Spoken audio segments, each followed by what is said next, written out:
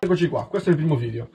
Il problema di tutti quando si usa una motosega è il ricambio, nel senso, quale catena devo usare, quanto è lunga, che passo, che spessore. Bene, in questo video vi spiego come risolvere questi problemi.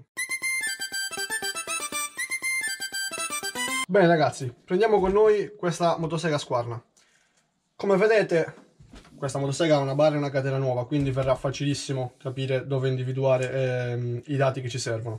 Allora, innanzitutto bisogna togliere il cartellino e vi faccio vedere dove sono i dati, anche se i dati sono comunque da questa parte, ok? Sono al di fuori, non c'è bisogno di smontarla, però vi faccio vedere smontata così facciamo un'inquadratura anche migliore.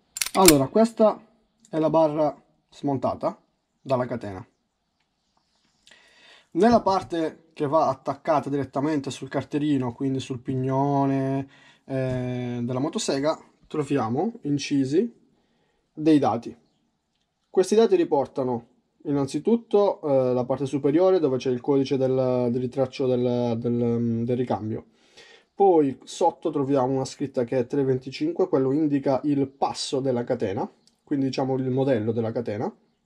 Subito dopo troviamo due diciture, una in pollici, una in millimetri. Quella in pollici dice 0,058 e quella in millimetri 1,5. Non è altro che lo spessore della catena della motosega.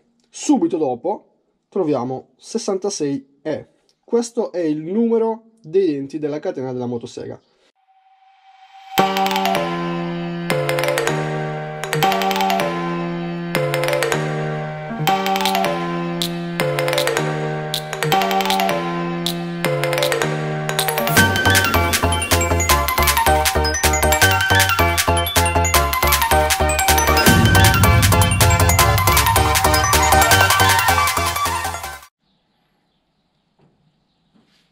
Allora, quindi, come capire in caso non ci siano i dati sulla barra?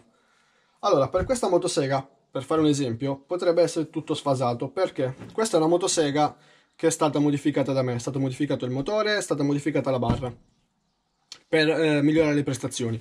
Su questa tipologia di motosega, su questa squarna, qua sopra ci sono indicati comunque i dati della catena originale e della barra originale, ok?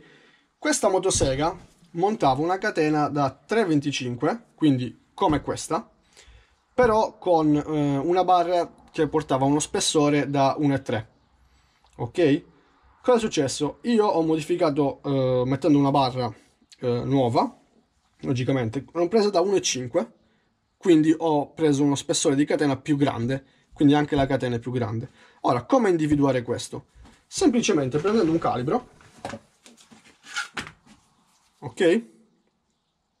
Non si fa altro che poter misurare lo spessore del dente, quindi in questo modo, e si determina lo spessore. Se dovete determinare la lunghezza, è ancora più semplice ragazzi. Abbiamo detto che i denti che devono essere contati sono quelli all'interno della catena, quindi non si fa altro che contare i denti che sono all'interno e si avrà la lunghezza esatta della catena che la motosega monta in quel momento perché se si cambia una barra si mette una barra anziché da 40 cm si mette una barra da 35 cm logicamente la motosega avrà una catena con una, con una lunghezza diversa.